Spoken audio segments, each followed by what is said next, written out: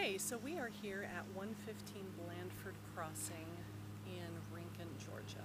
This is in Blandford Crossing subdivision, which is a small community of probably about 70 or 80 homes by the time everything is all built and completed. It does have a community pool with a baby pool, which is really nice. Uh, the schools that this property go to are, let's see, Rincon Elementary, Effingham County Middle, and Effingham. So take a look around at the neighborhood. The subdivision is probably, I'd say about two-thirds complete at this point.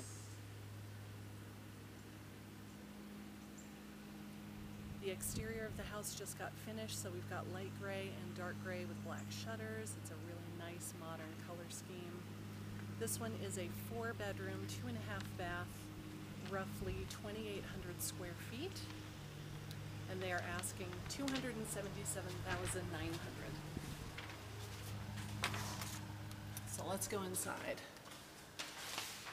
Now this says that it will be a formal dining room, but most people tend to want to use this as an office these days. So this would make a really nice home office.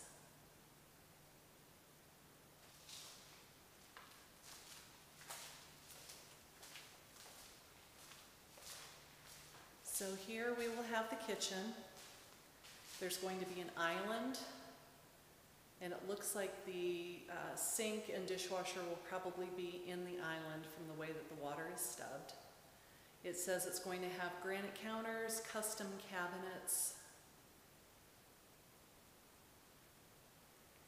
and then to my right, looks like that is going to be a coat closet. And this will be the family room.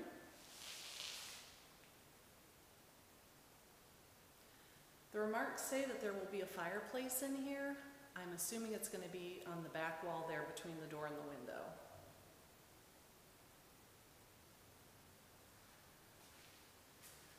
And if we go this way, this will be the laundry room. It's dark, sorry. But we'll have a laundry room here and looks like a half bath here. And then this will be the master bedroom.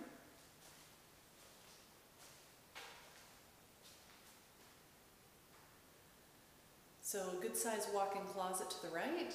We've got tray ceilings.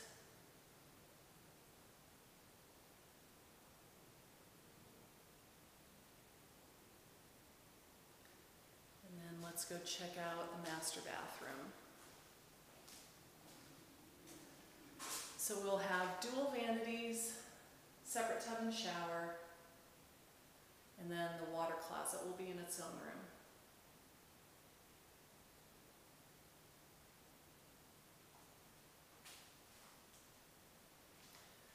So master suite is on the main floor, laundry room is downstairs, family room, kitchen. Let's go see what the back looks like. There are no rear neighbors. And we have a covered patio. I don't think they're planning to screen this in, however, I'm sure that is always negotiable if you wanted it to be. Or you could just do it yourselves after you move in, that would be a fairly easy project. So the houses on either side are complete. So you won't have construction going on immediately around you.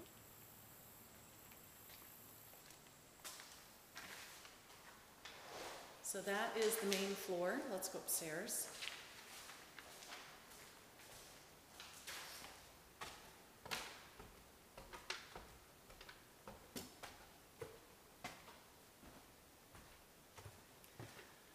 So we have a big loft area right here.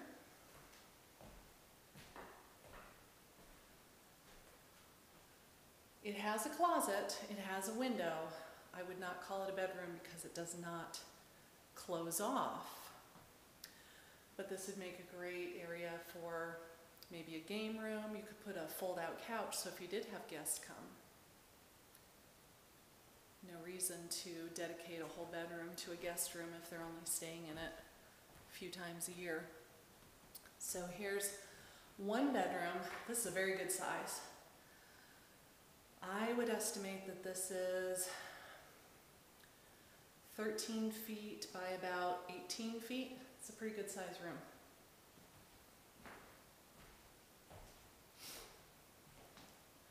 And then this looks like it'll be a walk-in closet with a light on the ceiling, very nice.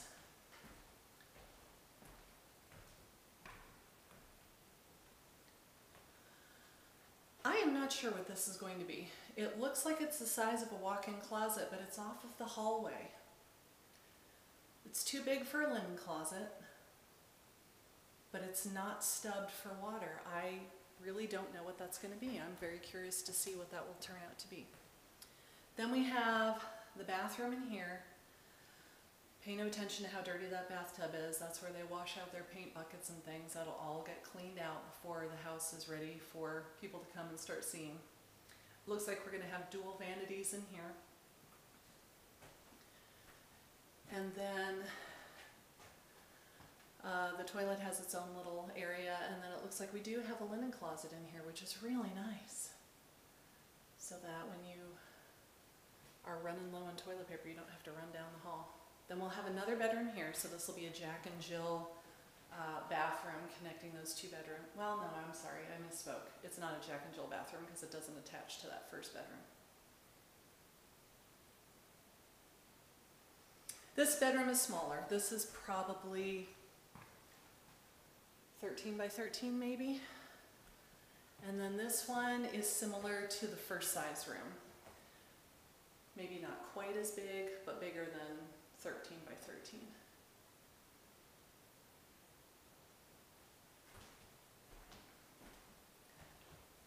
And then it's a pretty good sized closet as well.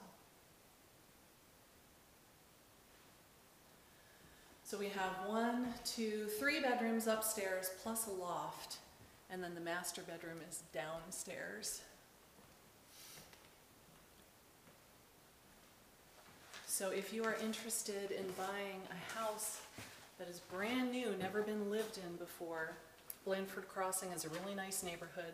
It's about two miles to Highway 21, and it takes maybe 10 minutes or so to get to I-95 from here.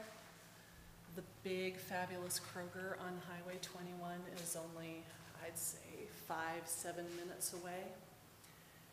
We're gonna have a two-car garage, and this definitely looks long enough to be able to park a full-size SUV or a pickup truck in here, which is a big deal because in new construction, sometimes these garages are very shallow. So that is 115 Blandford Crossing. This is listed by one of my coworkers, Christine Durrence, with Keller Williams Coastal Area Partners. And if you are interested in seeing the inside, let me know. Thanks for watching.